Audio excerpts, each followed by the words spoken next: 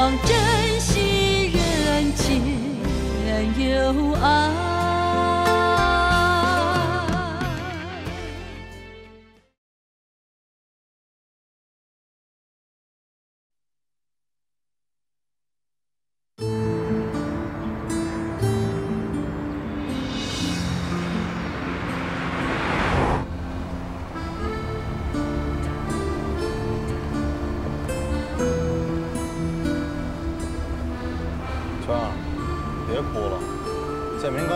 气话，别放在心里。我了解我哥的性格，所以我根本就没有把他的话放在心里。那你还为什么那么难过？你看我爸刚才那个态度，这就证明我离那个家已经越来越远了。也许，当我离家出走的那天开始，我就已经踏上一条不归路了。圈儿，你的家人还是跟过去一样爱你，他们一样在等你回来。我还是那句话，如果你想要回去，我现在就掉头送你回家。既然我们已经走在了一起，我就不会再回头，除非是我们一起回去。娟儿，你放心，我一定会牵着你的手，站在你爸面前，请求他把你交给我。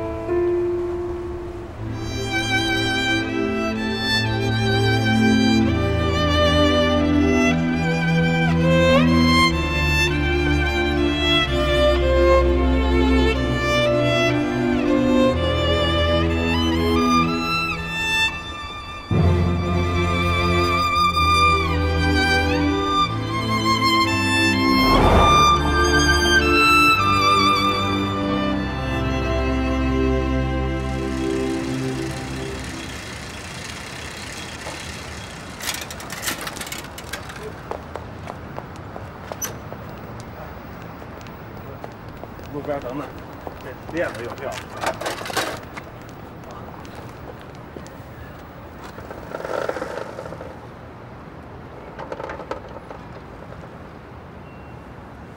需要我帮忙吗？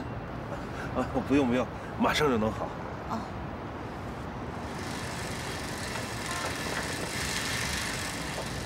哎，李主任，有德，早怎么了？链条又掉了？啊！我早说过，这台老爷车该报销了。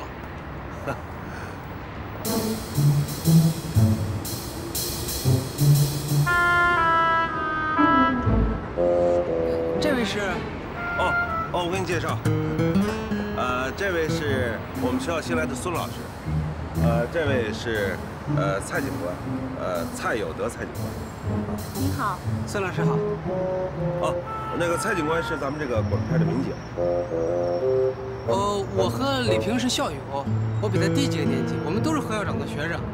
不过，李平不但是何校长的女婿，现在还做教务主任，成就比我大多了。蔡警官，你太谦虚了。你们一文一武，何校长以你们为荣呢。一文一武，说的真好。但是我还是觉得何校长偏心。以前我也追过小东，可是何校长却偏向李平，害得我到现在都无法接受失恋的打击。小德，你又胡说八道了是吧？哦，对了，小德，你能不能帮我把孙老师送到学校去？那有什么问题啊？孙老师，请吧。那那你呢？哦，我得去那边修修车，然后再去学校。好吧，那我先走了。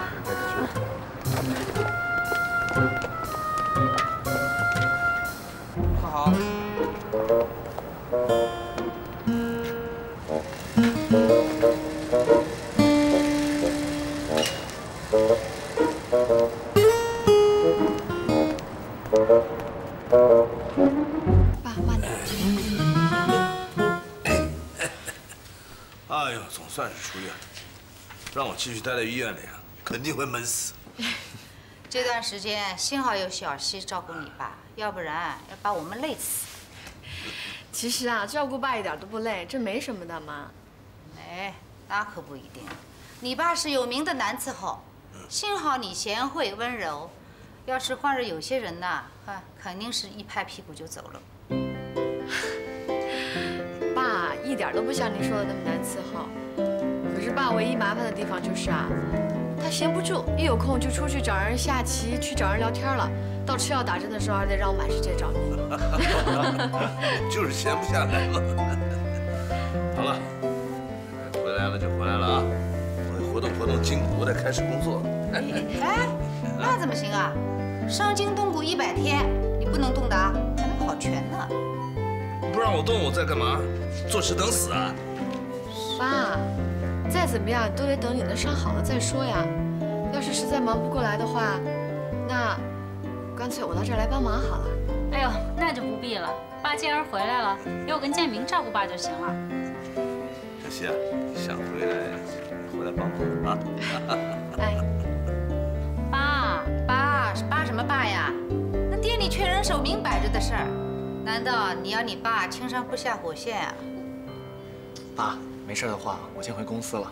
好好，路上开车小心啊。嗯，妈，我先走了啊。嗯，放心去吧，小希我会照顾的，我不会让他让什么人欺负的。妈行了，妈，我送你出去吧。哥，嫂子，走了啊。好了，现在回来了啊，大伙儿开始分头工作了。你别急啊，我就不进厨房了，我看哎，我看柜台好了。别动，哎哎，坐下哪都不能去，好好给我坐着，老实点儿。这坐着干嘛呀？老实点，那我不如回去住院算了。对了，建明啊，上次让你查一查，为什么咱们店里生意掉这么多，你查的怎么样啊？还没什么结果呢。那也是，我住院这段时间你也忙活着啊。好，那现在我也出院了，这个事儿呢，你得好好查清楚。你放心吧，爸，我知道。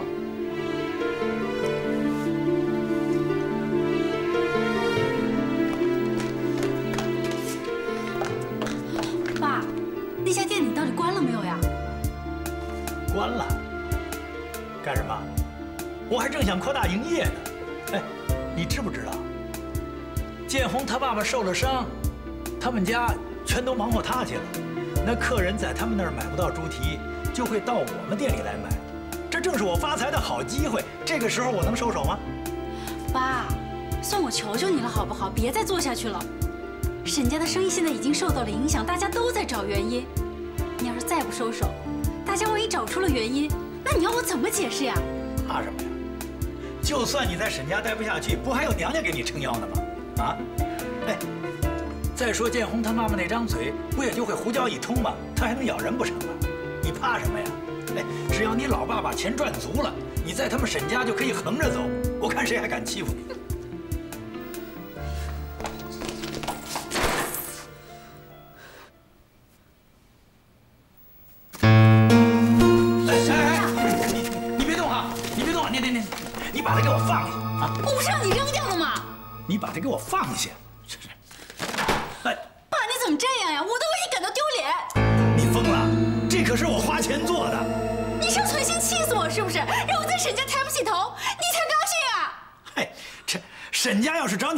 你就回来。老爸养着你，你怕什么呀？找我麻烦的不是沈家，是你。哎哎哎，玉凤，你你闹够了没有你？爸，你赚的这些都是黑心的钱，叫缺德。就算给你赚到了，你也留不住的。这留住留不住那是我的事儿，在我姜伟的字典里还没有“缺德”这两个字儿。你呀，少来教训我。我只知道这有钱不赚那是傻蛋。你不是傻蛋，你是骗子。对，我是骗子。哎，这年头要是不骗人，我能赚到钱吗？爸，难道你真的只顾赚钱，连女儿都不顾了？你呀，先别管我这事儿，回你们沈家去，别妨碍我在这做生意。爸，算我求求你了，把店关了吧，别再拖累我了，好吗？玉凤，你老爸这么做，不都是为了你着想吗？你想想看哈，你和建明在沈家是没命没业的那么干，哎，到头来，弄得你们连孩子都生不出来。哎，那沈万海都说什么了？他不还一样偏心建红他们吗？他们才是一家人呐！哎，我给你们看着这个店，万一哪天你们夫妇被沈家给赶出来了，至少还有这么一个店让你们维持生活呀。靠着这个店，你们不还可以东山再起吗？啊？哎，对了，你公公不是不跟那个叫什么王三宝的做生意了吗？你跟他说，让他把旅游车开到咱们店里来消费吗？你告诉他，原来你公公给他多少报酬，我给的比他高一成。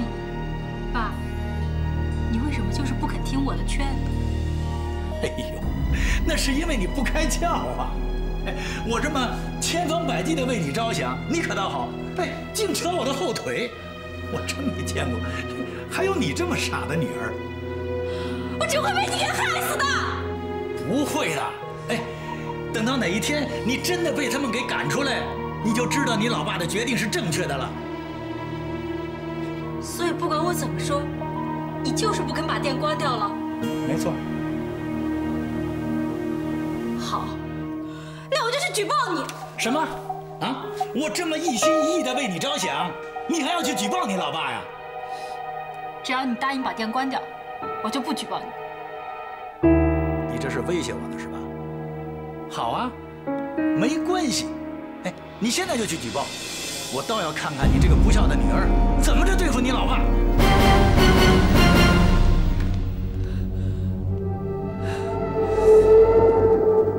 哎，都来瞧，都来看了啊！好吃又好看的什么还卤猪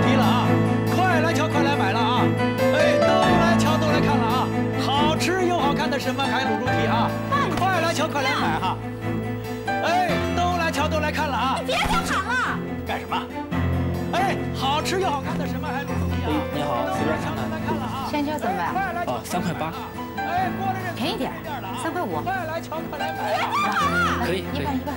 哎，都来瞧，都来看了啊！好吃又好看的什么海卤猪蹄啊！爸，我求求你别再喊了，别再给我添麻烦了。沈家真的出内贼是个假装贤惠的内子。好吃好看的卤猪蹄啊！快来瞧，快来看了啊！都来瞧，哇，终于被我抓到了。阿姨，别叫我阿姨，沈家没有你这么个吃里扒外的坏媳妇。你住口啊！我把姑娘养养这么大，不是让你随便骂的啊！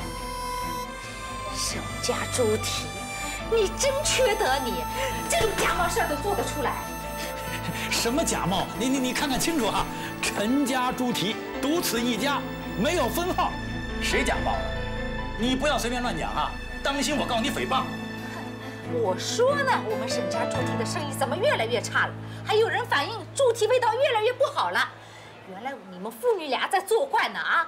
挂羊头卖狗肉，破坏我们沈家的声誉。嘿嘿嘿，谁挂羊头卖狗肉了啊？我们这可是货真价实的卤猪蹄。嘿至于你们家那个店卖的是不是拿狗爪当猪蹄，嘿我可就不知道了。明明做的假冒事情，你还理直气壮呢？好啊，你等着，我去叫警察把你这黑店给抄了，把你们父女告上法庭，要你们赔偿损失。阿姨，这事和我没关系，是我爸自作主张。玉凤，你不用求他，告诉你啊，咱们这是陈家猪蹄，跟他们沈家猪蹄根本就不一样。哼，要是打起官司来，还不知道谁输。好啊，我现在就去找警察，你等着。哎哎，你你你你你把猪蹄还给我。这是证据，我要给警察的，你拿来。怎么啊？拿去可以啊。哎，你先给我钱啊。怎么着？买东西你得给钱吧？好啊，你不要脸，还问我要钱？当然了，买东西给钱天经地义。你你拿来。哎呀，算了，阿姨妈，你别吵了，有话好好说嘛。你以为没你事儿啊？我看你回去怎么向你老公交代？怎么着？这么多年你你一直欺负他还不够啊？还当着我的面敢骂他？哎，今天我跟你没完！告诉你，我今天看你这泼妇到底有多大本事？什么？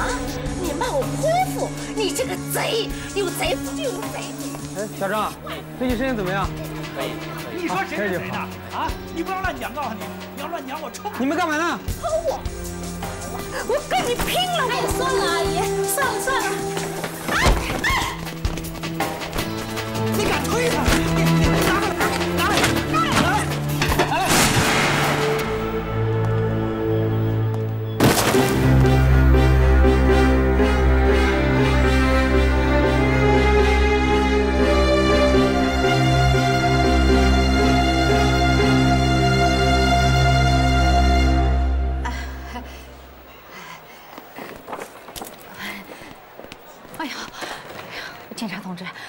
实实在对不起，我不不不不是故意的。赶紧把这些东西都收拾起来啊！怎么能在公共场所打架呢？都挺大个人了，这个道理还需要我说呀？你们要是没打够，跟我回派出所接着打。啊不，哎，警察同志，不是打架，是是他，你看假冒我们沈家猪蹄在这市场上卖。我没有仿冒，哎，我我卖的是我们陈家猪蹄，这些事情不归我们管，我们只管维护社会治安。这些问题找工商局去。哦，好，找工商局。这事我跟你没完，你完了你！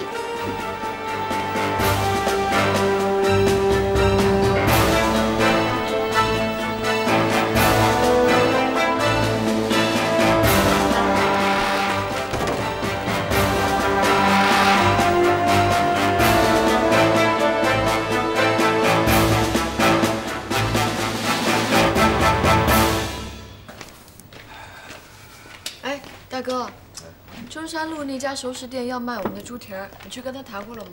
哦，还没呢，我下午就去。哎，不用不用，建民啊，店里工作忙，谈生意的事情我去就行了。哎呀，爸妈都交代过了，您怎么都不能动。您呀，等手好了之后，你想闲着都难。那我这不是跟坐牢一样吗？我一点自由都没有了。哎，你家出大事儿了！这怎么了？怎么回事啊？他们父女在菜场里卖猪蹄。哎呀秋萍啊，你亲家在菜市场工作吗？怎么卖猪蹄也不对啊？就准我们家卖猪蹄，别人不准卖啊？阿姨，你别胡说啊！我根本就不知道我爸在卖猪蹄。你不知道，你不知道才怪呢！怪不得我们家生意又差起来，原来把客人全拉到你爸那儿去了。哼，前段时间我们谈了生意好坏的时候，他躲躲藏藏的，哎呦，弄得嘞很贤惠的样子，做贼心虚。啊呸！你说的这叫什么屁话？我女儿嫁到你们沈家这么多年，你们家的活儿哪样她干得少啊？哎，亲家，今天就请你评评理，替我们说句公道话。公道？跟这种人有什么公道可言啊？他在假冒我们沈家猪蹄的招牌。是这样吗？亲家，亲家，没有的事儿啊！哎，亲家，你好好看看，我这上面印的可是陈家猪蹄，哪里是你们沈家猪蹄嘛？这不是我们家的包装袋吗？亲家，这根本就是仿冒啊哎！呀，亲家，仿冒这两个字眼儿也太难听了吧？咱们不都是亲家吗？我就连一点光都沾不上啊！你连我的照片都用上了。亲家归亲家，我告诉你，沈家猪蹄四个字，我不可能随便让人家用的。亲家，我再跟你说一遍，我用的商标是陈家猪蹄，不是你们沈家猪蹄。你这么说根本就是强词夺理嘛！反正我没用你们沈家的商标，这理我到哪儿都说得通，随你怎么用。亲家，这玉凤嫁到我们家很多年了，她工作一向认真，店里的生意也经营得很好。我告诉你，你不要为了赚那几个钱，让你女儿难做人。他爸敢在菜场卖猪蹄，就是他女儿的意思。你还是劝劝你媳妇吧。阿姨，你不要污蔑我，我刚刚就说过了，我不知道我爸在卖猪蹄。况且我还让他把那些包装袋扔掉呢。好啊，那你就当着大家面发誓，你爸不能用我们家的包装袋。这你也太霸道了！本来我在包装袋上印的就不是你们沈家猪蹄，你凭什么不让我用？还不让我卖猪蹄了？玉凤，我早就知道这个女人这么多年一直都对你们很刻薄，时时刻刻老想着要把你跟建明从沈家给赶出去。今天又拿猪蹄来挤兑你，玉凤，你今天就不要怕他。今天有老爸在这给你撑腰，你就跟他吵，我看他能把你怎么样。你自己都是当爸爸的人，哪有将自个女儿跟长辈吵架的道理？像话吗你？你这个女人也太欺负人了！我今天就跟她没完。你要是怕难听啊，就让她把嘴闭上，以后别再说我女儿的坏话。你别拿你女儿做挡箭牌。今天要是不发誓关掉你这家店，我跟你没完。那那好吧，亲家，既然咱们是一家人，我也就不跟你们计较了。可是我开这个店前前后后我也投下去不少的本钱。那要不这样，如果你们愿意出五十万补偿我的经济损失，那我就不开了。我把店关了就是了。你你什么意思啊？啊，盗用我们的商标，破坏我们声誉，啊，这账我还没跟你算呢，你还要我们赔偿？你太过分了你！我一点都不过分，嗯，我开这家店是有原因的。你们都知道，我女儿玉凤，是因为你们家建明生不了孩子，那她以后老了怎么办？她以后靠谁生活呀？哎，要是万一有那么一天。玉凤让你们从沈家赶出来，那他以后怎么生活呀？我总得给我女儿留条后路吧。爸，生孩子这事儿我不怪玉凤，不管我这辈子有没有孩子，我绝对不会把玉凤赶回娘家的。建明啊，就冲你这句话，那这个店我就更要开下去了。哎，建明，你们家这个老店是你爸爸沈万海的，你能够保证以后你爸爸能把这个店交给你啊？那要是万一让建红他们给拿走了，至少我这还有一个陈家猪蹄店，让你们东山再起了。我可是实实在在的为你们着想啊！你说的是什么话你？啊，你挑拨离间是不是？建明、建红都是我儿子，那是我们家务事，不用你操心了。随你们的便，反正今天我把话说到这儿了，你们爱听就听，不爱听拉倒。这个店是我为我女儿开的，你们要让我关店呢，门儿都没有。爸，我不要你的店。这，玉凤，你说的这叫什么话呀你？你要开店是你自己的事儿，你不要让我被家里人说成是贼媳妇。哎呀，玉凤，啊，我是处处为你们着想，你反倒说我的不是，我真是白操了心了，白养你这个女儿了。我走。别走，话还没说清楚呢，想走啊？我说的还不清楚吗？啊，我的陈家猪蹄和你们沈家猪蹄根本就不是一回事儿。你们要是不高兴啊，随你们的便。警察也好，工商也好，我奉陪到底。反正这个店，我要一直开下去。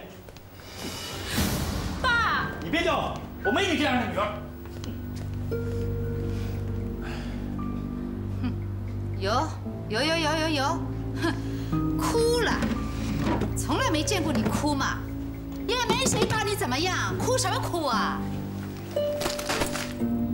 我到底做错什么了？谁都看我不顺眼。我一直在让他不做呢，你为什么要冤枉我呀？刚才你爸说了，他做的一切都是为了你。怪不得他把三天两头往我们店里跑，还对我们的卤汁感兴趣。我看以后不能再让他进厨房了。现在怎么样？露出马脚来了吧？啊？迟早，我们猪蹄的配方都让他偷走。你不让我进厨房，就这么让小西进去了，是不是？我没这样说啊。你觉得可以？那好啊。至少，小西他爸妈是知书达理的，不会像你爸那样做这种缺德的事儿。我不许你侮辱我爸！好了好了好了，跟屋外的人吵已经够烦人了，屋子里头还要吵。不吵可以，这事儿怎么办？你说。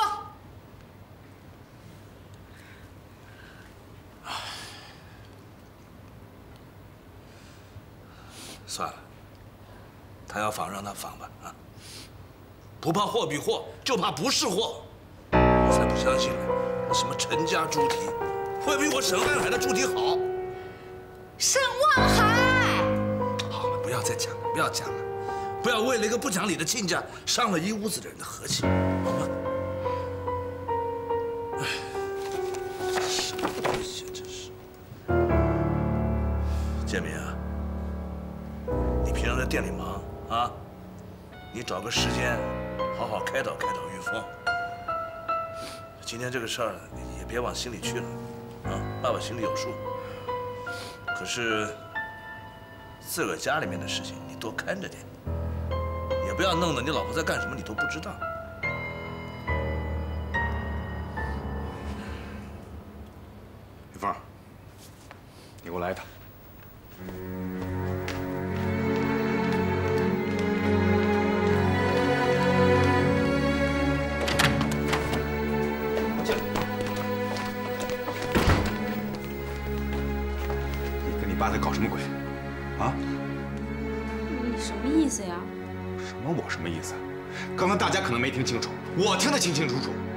说他花了几十万做这个猪蹄生意，他什么意思？好，还有，在菜市场卖猪蹄，用得着什么什么啊？用得着包装袋吗？用塑料袋就可以了。你老实说，你爸到底在什么地方买猪蹄？在公路休息站，对不对？说话呀！你对我嚷嚷什么呀？是你说不做的，他才做的。要是不做，这十万押金不就打水漂了吗？划不来呀！这些钱我赔得起，玉凤儿。哦，你现在跟你爸偷偷在外面开分店，还仿冒我们沈家的商标。你这么做，你是在背叛我们沈家，背叛我，你知不知道啊？哎呀，我一直跟他说要他不做不做，他不听我的，我有什么办法呀？你有什么办法？你要是不同意的话，你爸能拿到店面的使用权吗？好好好，过去的事情我先不说了，你现在就给我回去把这事情解决好。还有，我不准你爸再使用那些包装，那个店转让出去。他不会答应的。哦，他还不会答应？他不答应，我去告他。你要告他？当初我跟建红吵架，就是为了这家店。现在，啊，这个店我来做，那我就要把它做好。我要所有人对我是心服口服，尤其是我爸。我要让他们知道，这家店是我的命，谁都不能去伤害它。你爸也一样。建明，沈家猪蹄店有今天这个样子，我也有功劳的呀。你什么事情都不站在我的立场想想，你去告我爸，我的面子往哪儿搁呀？我在你们沈家还有什么地位呀？玉凤，你怎么就那么糊涂？你爸这个店一天不关，你在我们沈家就不可能有地位。你去告诉你爸，他要是不想吃官司，就把店给我关了。不然的话，我沈建民说到做到。好啊，哈哈，给我抓到了！阿海，快来！说什么？快来啊，来呀！快来！怎么回事？怎么了？怎么了？玉峰他爸假冒我们的商标，在公路上开猪蹄店。大嫂，这是真的吗？怎么没话说了吧？啊，真是家门不幸啊！出你这样的贼媳妇，王海，我跟你说啊，这事情很严重，你不能轻易放过的。岳芳，公路上什么分店，到底怎么回事啊？爸，我不知道。你不知道啊？事情到了这个地步，你还说不知道？好了好了，你们一人问我一句，像审犯人似的，干脆把我赶出家门好了。大嫂，你也别着急，有什么话咱们慢慢说呀。这有你说话的份儿吗？让你插嘴？跟说话的人不说话。跟说话的人不说话。建明，你说话呀！玉凤叫你说话呢。阿姨，你就不要在这里挑拨了。该说的我刚才已经告诉玉凤，她知道该怎么办。这你你们你们这个不说那个不说的，到底怎么回事啊？好了，你们就别说了，我走行了吧？哎，嫂子。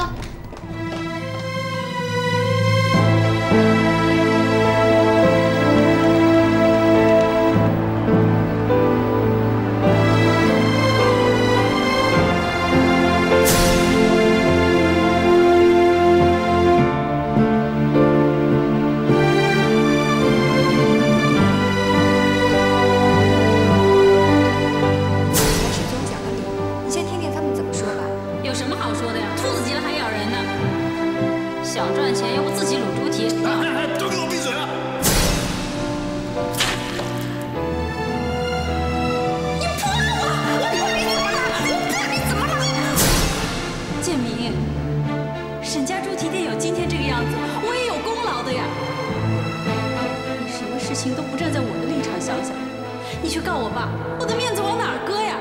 我在你们沈家还有什么地位呀？凡儿，你怎么就那么糊涂？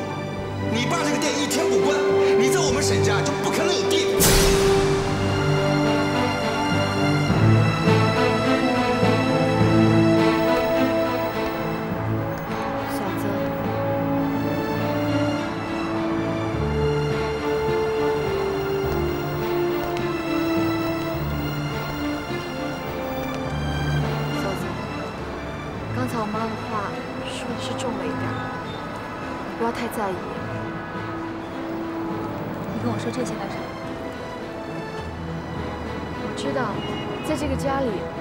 小小的事儿都是你一个肩扛着，在这个家里你最辛苦。其实，我们大家都知道，你一向守本分，做生意收进来的钱，不该你拿的，你一分都不会多拿。所以我们也知道，江伯伯卖猪蹄绝对不会是你的主意。只是这个事情发生的太突然了，大家一时半会儿没办法接受。我相信，等你把事情解释清楚了之后就好了。爸和我妈他们不会怪你的。爸妈怪我，我没意见。可是连建明都不相信我，就连刚才我跑出来，他都不拦我一下，你没看见吗？建明他是在气头上，等他冷静下来了，他就会了解你的苦衷了。小溪，这个家我是待不下去了，你也是这个家的媳妇。我走了之后，你正好来掌管这个家，反正你又会来上。大嫂，这阵子只是我回来帮忙，我绝对没有回来要跟你抢什么的意思，你别误会了。没关系，你尽量争吧，反正我也无所谓了。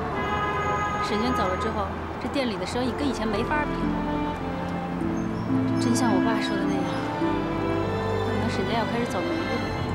大嫂，你别这么说。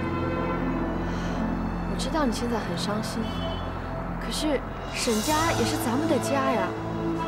你在这个家住了这么多年了，沈家的生意能这么好，也有你的心血在里面，你是不会舍得丢下他的，对吗？那已经不是我的家了。今天我算是真正明白了，我在这个家一点地位都没有，建明对我也没有一点夫妻情分。今天我踏出沈家的门，也不知道还会不会再回来。大嫂，这么多年白白浪费。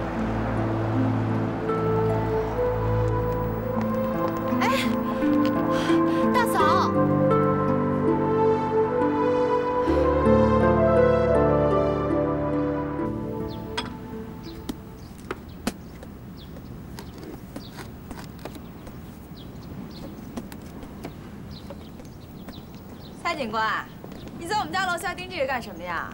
警民联系箱嘛。哎呀，人民警察爱人民啊，你们的工作做得够细的。应该的。有什么要求和需要，写好个纸条放到这箱子里面，我们就可以及时解决了。那太方便了。嗯，再说了，这是我们的职责，你们这是不是？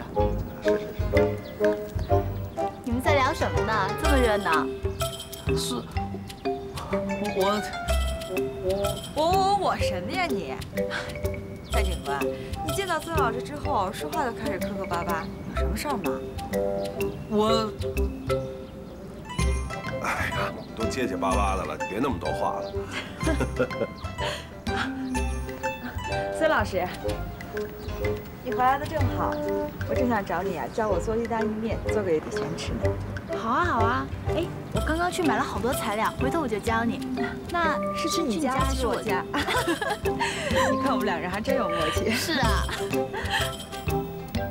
你这还没忙完啊？要不要我帮你啊？我，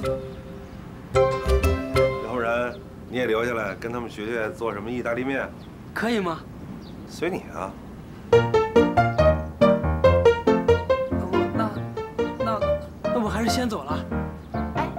辛苦了，蔡警官，再见。不辛苦。再再见啊。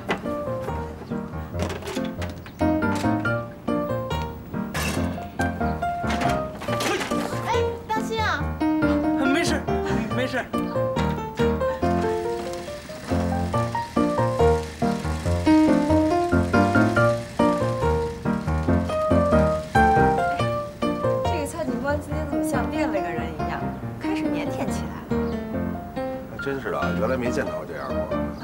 哦，对了，我这可饿了，你不是做什么意大利面吗？赶紧的吧。走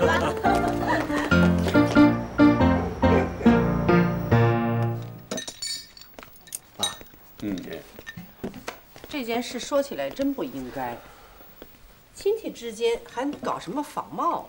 这以后两家人还见不见面了？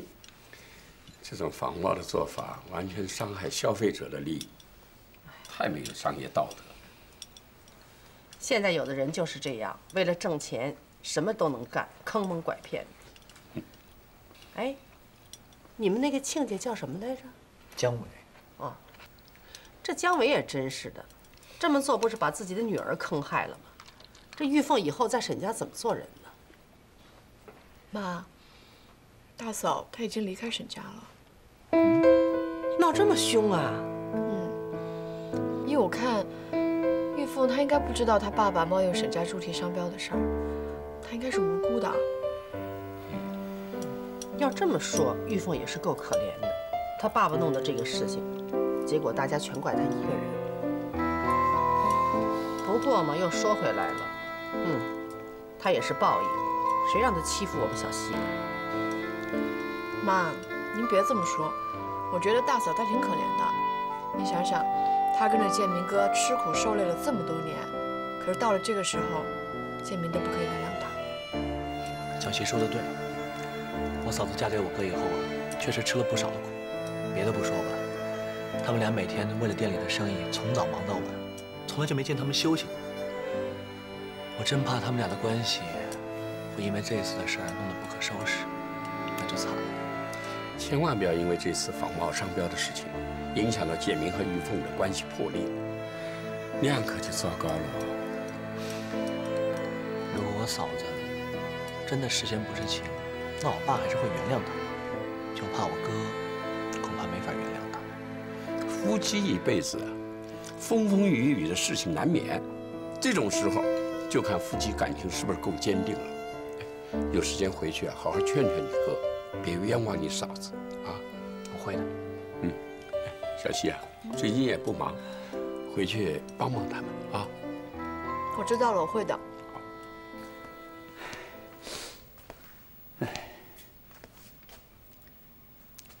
说你傻吧，你还不承认？哦，他们把你赶出来，你就这么乖乖的跑回娘家来了？啊，你是他们沈家人，他们凭什么赶你出来呀？你还好意思说呀？都是你，害我落到今天这个地步。人家都说娘家是靠山，我的娘家是火山。哎 你看，你看，像你这么说，哎，好像是我这个做老爸的存心来坑害我的女儿似的。爸，你凭良心说，我警告你多少次了，不要用沈家猪蹄的商标，否则我会被建明骂死的。现在好了，我被轰出来了，你知道厉害了。